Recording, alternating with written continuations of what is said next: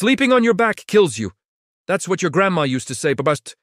But is it true? Yes and no, and it will surprise you. A whole generation heard this.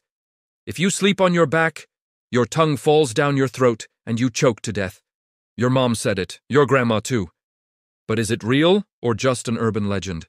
Sleeping on your back does not kill you. But it can trigger sleep apnea in people who are predisposed. Here's how it works. When you sleep on your back, gravity pulls your tongue down. If your airway is narrow due to genetics, weight, or age, you can stop breathing. It's not death, but repeated interruptions of 10 to 30 seconds. If you have risk factors like being over 40, overweight, or a smoker, sleeping on your side prevents 85% of apnea events. But sleeping on your back with your head raised 30 degrees also works in 60% of cases.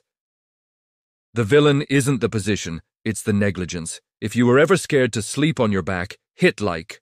If you want to find your ideal position, subscribe for our next episodes. If you liked it, click the like button. Share it with a friend and don't forget to subscribe and turn on notifications for more amazing videos. Thanks for watching.